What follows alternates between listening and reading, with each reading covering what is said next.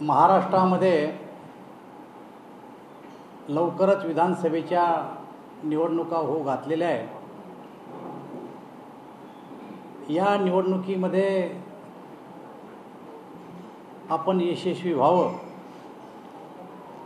यासाठी काही विरोधी पक्ष प्रयत्न करतायत. परवा उद्धवजी ठाकरे साहेब दिल्लीला जाऊन आले आणि दिल्लीमध्ये त्यांनी एक पत्रकार परिषद घेतली. या पत्रकार परिषदेकडे जर आपण बघितलं तर त्यामध्ये त्यांनी सांगितलं की जनतेच्या न्यायाला जाऊन आम्ही न्याय मागणार आहे. आपल्याला सगळ्याला माहिती आहे की जनतेच्या न्यायालयाचा जनमताचा अनादर जर कोणा केला असेल तर दोन हजार एकोणीस साली जो जनादेश आला होता तो जनादेश ठोकरून उद्धव ठाकरे साहेबांनी असंघाशी संगत केली आणि आपलं सरकार बनवलं. या पत्रकार परिषदेत त्यांनी मी किती चांगला मुख्यमंत्री होतो हेही दाखवण्याची कोशिश केली. आम्ही नाही पण त्यांच्याच सरकारमध्ये काही मित्र असलेले त्यांनी आपल्या पुस्तकामध्ये लिहिलं की पूर्ण कालावधीमध्ये उद्धवजी ठाकरे फक्त एक दिवस मंत्रालयात आले याची मला खंत वाटते. याचाच अर्थ असा आहे की सगळ्यात अपयशी अशा प्रकारचे मुख्यमंत्री होते. आणि त्यामुळं त्यांनी अशा प्रकारची जनादेशाची भाषा वापरणं चुकीचं आहे. बांगलादेशाच्या परिस्थितीवरही त्यांनी भाष्य केलं. आम्ही स्वतः हिंदुत्ववादी अशा प्रकारचं वक्तव्य त्यांनी अनेक वेळेस केलं. आत्ताच्या काळात ते करत नाहीत. परंतु त्या ठिकाणी बांगलादेशामध्ये जी परिस्थिती झाली ती आपल्या देशामध्ये सुद्धा होऊ शकते अशा प्रकारचं वक्तव्यसुद्धा त्यांनी केलेलं आहे. मला असं वाटतं की ही चिथावणीखोर भाषा आहे. ज्या ठिकाणी हिंदूची हत्या केल्या जाते किमान त्याचा निषेध करण्या इतपत हिंदुत्व तरी त्यांच्यामध्ये जागृत असायला पाहिजे होतं. परंतु ते सुद्धा ते या ठिकाणी दाखवू शकले नाही. याचा अर्थ हिंदुत्वापासून उद्धवजी ठाकरे किती दूर गेले हे आपल्या सगळ्यांच्या लक्षात येत आहे खरं तर तीन दिवसाचा जो दिल्ली दौरा होता या दिल्ली दौऱ्यात ते कशासाठी गेले? जेव्हा देवेंद्रजी आणि एकनाथराव शिंदे दिल्लीला जायचे तेव्हा त्यांचं वक्तव्य आहे की महाराष्ट्र दिल्लीच्या इशाऱ्यावर आम्ही चालू देणार नाही. आत्ता हे जे दिल्लीला गेले हे कशासाठी गेले? यांनी कोणाचा इशारा घेतला? हे कोणाच्या दारात जाऊन उभे राहिलेत. आमच्या युतीच्या काळामध्ये अशा प्रकारचे जागा वाटपाचे निर्णय निवडणुकीची रणनीती प्रमोद महाजन गोपीनाथ मुंडेपासून तर आत्तापर्यंत मातोश्रीवर ठरवल्या जायची. परंतु आता मातोश्रीतून बाहेर निघून राहुल गांधी आणि खरगेजीच्या दारात जाऊन उभं राहण्याची ही पाळी या राज्यातल्या जनतेने तुम्हाला खरं तर आणलेली आहे. आणि मग मला असं वाटतं की हिंदुत्व केवळ तोंडापुरतं तुमचं राहिलं आहे परंतु हिंदुत्वापासून तुम्ही आता कितीतरी दूर गेले हे महाराष्ट्रीय जनतेला दिसून आलेलं आहे बांगलादेशामध्ये जो हिंदूवर अन्याय आणि अत्याचार चाला हा अत्याचार केवळ त्यांनी बोलून दाखवला त्याचा मार्ग वेगळा आहे. त्यांनी त्याचा निषेध करायला पाहिजे होता मी अगोदरच सांगितलं आपल्याला. परंतु एक गोष्ट आपण लक्षात घेतली पाहिजे की जनतेच्या हिताच्या जनतेच्या उपयोगाच्या ज्या योजना महायुती सरकारने जाहीर केलेल्या आहेत त्या योजनाकडे जर आपण बघितलं तर सतरा ऑगस्टला या योजनेचा पहिला हप्ता महिलांच्या खात्यामध्ये जाणार आहे. जवळपास एक लाख साठ हजार महिलांनी आत्तापर्यंत आपली नोंदणी केलेली आहे. आणि एक लाख सत्तावीस हजार अर्ज आत्तापर्यंत मंजूर झालेले आहेत. आणि त्याचा हप्ता तो सतरा तारखेला महिलांच्या खात्यात पडणार आहे. या योजनेला सुद्धा खेळ घालण्यासाठी वेगवेगळ्या मार्गाने त्यांनी प्रयत्न केलेला आहे. पण मा माननीय कोर्टाने हा निर्णय सरकारचा निर्णय हा निर्णय जनहिताचा निर्णय आहे. आणि त्यामध्ये कुठल्याही प्रकारचा विरोध दाखवला नाही. मला असं वाटतं की विरोधी पक्षांनी जनहिताच्या जे काही निर्णय आहेत या निर्णयाच्यामध्ये अशी आडकाठी न आणता सरळ जनतेच्या दरबारात जाऊन मतं मागावीत. आणि आम्हाला खात्री आहे की जेव्हा जनतेच्या दरबारात जातील तेव्हा यांचं असलेलं हिंदुत्व यांच्या असलेल्या जनतेच्या योजनेला विरोध आणि यांनी दोन हजार एकोणीसला जनादेशाचा केलेला आदर अनादर पाहून जनता यांना नाकारल्याशिवाय राहणार नाही असं आमचं मत आहे. सर दिल्लीत उद्धव ठाकरे गेले त्यावेळी अशी देखील एक चर्चा झालेली आहे की महाविकास आघाडीचा कसा डबल महाविकास आघाडीचा मुख्यमंत्री पदाचा चेहरा उद्धव ठाकरे असू शकतात अशी आता चर्चा असू शकतात नाही. त्यांनी तसं इनडायरेक्टली इंडिकेटच केलेलं आहे. आणि राष्ट्रवादी काँग्रेसला आणि काँग्रेसला त्यांनी संकेत दिले या दौऱ्यातून की मी किती चांगला मुख्यमंत्री होतो. त्यांनी त्यांची भावना अप्रत्यक्षरित्या उघडच केलेली आहे.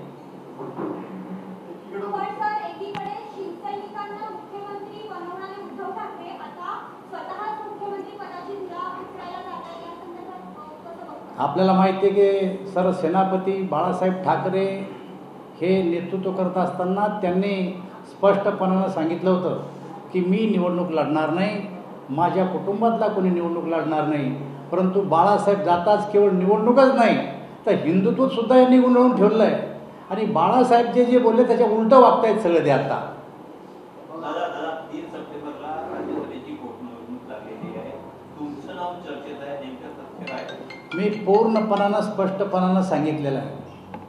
माझं नाव चर्चेतही नाही. मी राज्यसभा मागणार नाही. मी विधान परिषदही मागणार नाही.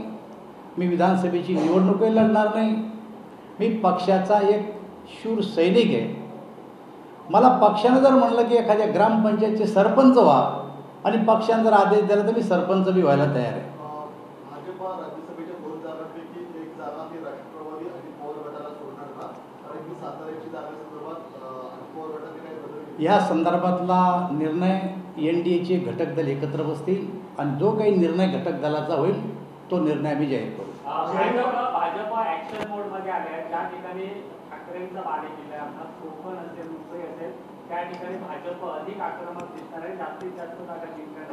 भाजप केवळ कोकणापुरता मर्यादित नाही आहे कोणी कोकणापुरते मर्यादित असतील आम्ही कोकणापुरते नाही आहे अख्ख्या महाराष्ट्रामध्ये आम्ही ॲक्शन मोडमध्ये आहे. संपूर्ण कार्यकर्ते कामाला लागलेत. भाजपचं पुण्याला अधिवेशन झालं. आणि त्यानंतर जिल्ह्या जिल्ह्यामध्ये आता अधिवेशनं चालू आहेत आणि त्यानंतर तालुक्यात अधिवेशनं आम्ही घेणार आहेत. त्यामुळं केवळ कोकणात आम्ही ॲक्शन मोडमध्ये नाही तर महाराष्ट्रामध्ये आम्ही ॲक्शन मोडमध्ये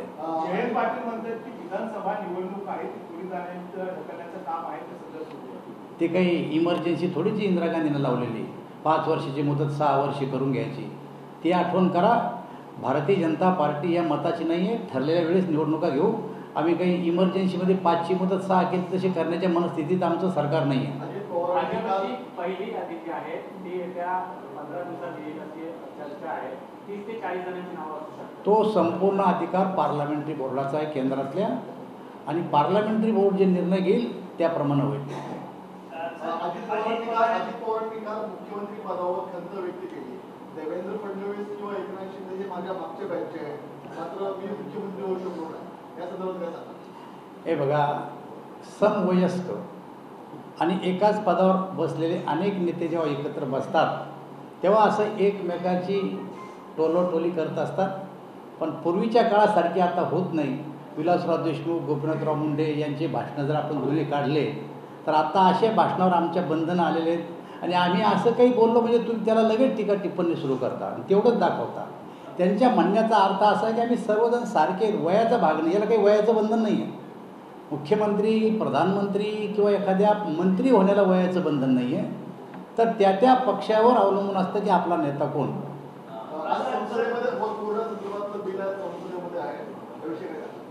एक आता बिल आलं आहे बिलावर दोन्ही बाजूंना चर्चा होतील आणि चर्चेनंतर ते बिल. पास होतं करायचं का नाही करायचं हे सरकार ठरविल. परंतु आता संसदेमध्ये सादर झालं आणि जे बिल संसदेमध्ये सादर झालं त्याच्यावर आत्ता बोलणं उचित नाही.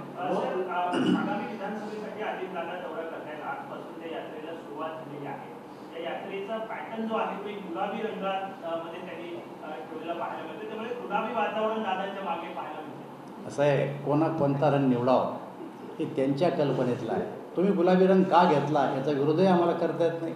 पण दादाने सुद्धा काहीतरी सोचून समजून रंग निवडला असं प्रत्येक जण आता रंगावरच खेळ निर्णय आहे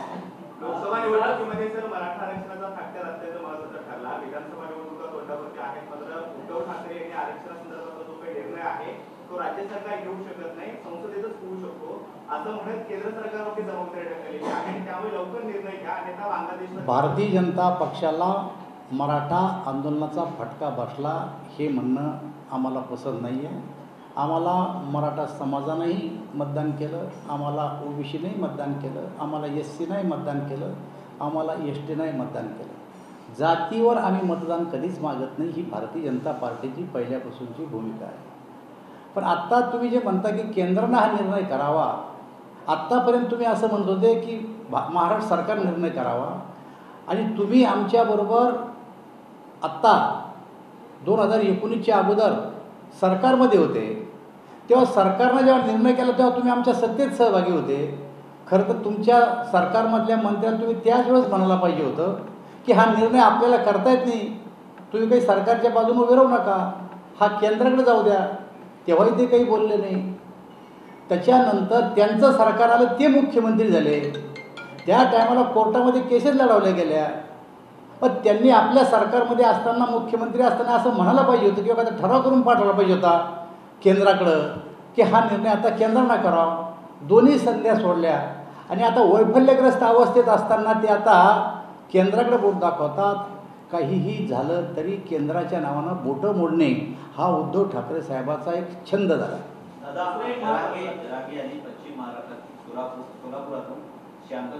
सुरुवात केलेली आहे. उपमुख्यमंत्री देवेंद्र फडणवीस आणि छगन भुजबळ एका कार्यक्रमाला काही दिवसांपूर्वी सोलापुरात होते. त्यावेळेस काल बोलताना जरांगे म्हणाले की भुजबळ यांना घेऊन येणाऱ्या नेत्यांना आणि पक्षाला पाडा म्हणजे भाजपला पाडा असं त्यांचं वक्तव्य असं आहे. एखाद्या पक्षाबद्दल एखाद्या नेत्याबद्दल सगळेच राजकीय पक्ष वेगवेगळ्या प्रकारचं वक्तव्य करतात. आम्ही सुद्धा करतो. यांना मतं देऊ नका त्यांना मतं देऊ नका हा नेता चांगला आहे तो नेता चांगला नाही. हे तर राजकारणामध्ये चालतच असतं ना. आणि त्याच्यामुळं त्यांच्या एकट्याच्या बोलण्यावर असं कसं असं कसं निर्णय करतायत पण हे कालचं विसरलेत तुम्ही. की बांगलादेशामध्ये ज्या हिंदूची हत्या होऊ लागली त्या हिंदूबद्दल सहानुभूतीनं दाखवता त्या ठिकाणी त्यांचं वक्तव्य जर बघितलं तर लाजीरवाणी वक्तव्य आहे. हे याच्यापेक्षा गंभीर आहे. इथं देशाचा प्रश्न आहे इथं हिंदुत्वाचा प्रश्न आहे. त्याच्याकडे दुर्लक्ष करून चालणार नाही. त्याच्यापेक्षा हे वाईट बोललेत. जरंगेपेक्षा हे वाईट बोललेत. तर उद्धव ठाकरे यांना अनौपचारिक गप्पांमध्ये काही प्रश्न विचारला झाले शरद पवार यांच्याबद्दल. त्यावेळी त्यांनी म्हटलं की शरद पवार आणि मुख्यमंत्री एकनाथ शिंदे यांच्यामध्ये जी काही बैठक झाली त्याच्यात काय चर्चा झाली याची मला कल्पना नाहीये. दुसरं धारावीच्या मुद्द्यावरून पवारांनी अजून अदानी यांच्याबद्दलची नेमकी त्यांची भूमिका काय? स्पष्ट केलं तुम्ही. एक गोष्ट लक्षात घ्या की युतीचं सरकार असताना प्रत्येक निर्णय प्रत्येक बैठक ही उद्धव ठाकरे साहेबाच्या भेटीनंतर होत होती त्यांना विचारून होत होती ते बैठकीमध्ये सामील असायचे. आत्ताच तर किती खाली आला. त्यांना न विचारता त्यांना न बोलवता अशा प्रकारच्या बैठका होतात आणि बैठका झाल्यावर त्यांना ती माहिती बी दिल्या जात नाही. आपण बघत असाल की उद्धव ठाकरे साहेबाच्या घरी अयोध्याहून निवडून आलेले खासदार काय अविदेश अविदेश प्रकार हे घरी गेले. मासाहेबाचा आणि बाळासाहेबाचा फोटो लावलेला. तिथं पायात बूट घालून दोघांनी हस्तांदोलन केलं. इतका स्तर खाली गेलाय. लागला तर मी फोटो दाखवतो तुम्हाला. इतके दिवस मा मा- मातोश्रीच्या बाहेर खेटरं काढायचे. भिंतीच्या बाहेर. आता खेटरं आत चाललेत. तरी यायला सण उरायलंय. याचा विचार करा तुम्ही. लागला तर फोटो काढा. आहेत. डेरा जमाए हुए हैं, क्या कहेंगे इसके पीछे क्या राजनीति मैंने तो बोल दिया कि तीन दिन में किसके पास गए, क्या कारण से गए। जब हम जाते थे, हमारे मुख्यमंत्री उप मुख्यमंत्री जाते थे तो बोलते थे, दिल्ली बम्बई दिल्ली के इशारे से नहीं चलेंगे, ये किसका इशारा नहीं लेके गए थे?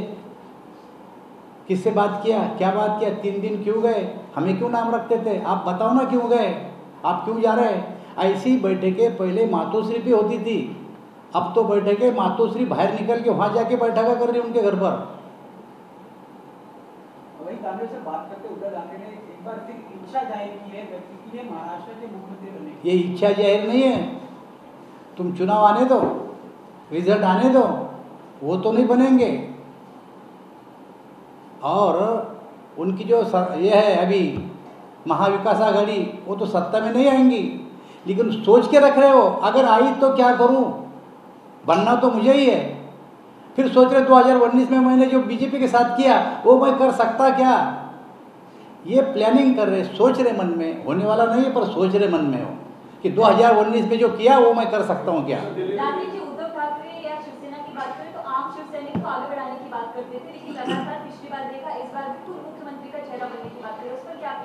देखिए बाला साहब ठाकरे जो थे उन्होंने बोला ना मैं ना मेरे फैमिली का कोई मेंबर राजनीति में आऊँगा।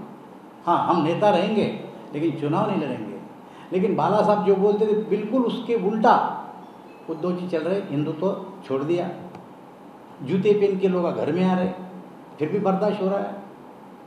खुद मुख्यमंत्री बन रहे।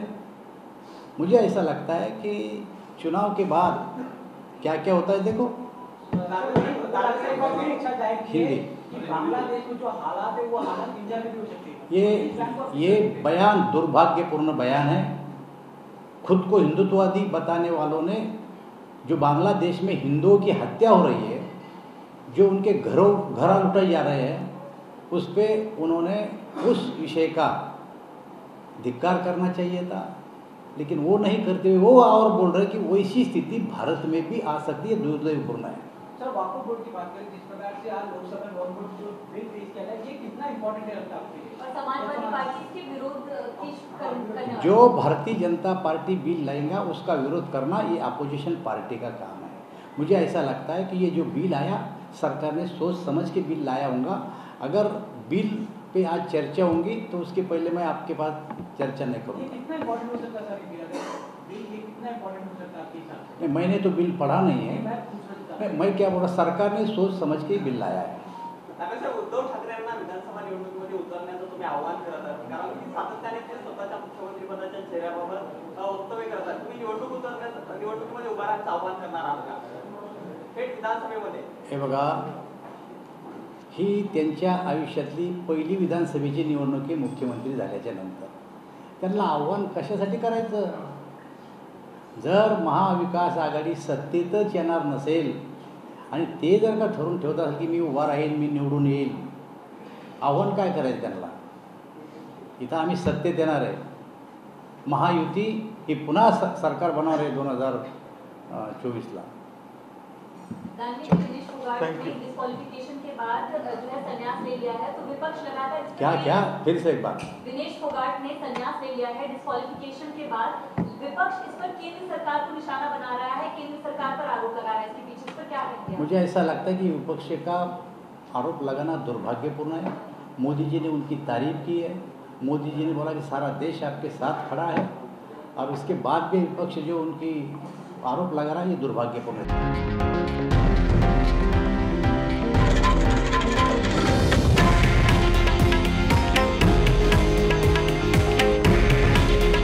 हे आहे देशातील नंबर वन न्यूज नेटवर्क. आणि आपण पाहत आहात टी व्ही नाईन मराठी. काळजी तुमची हित महाराष्ट्राचं.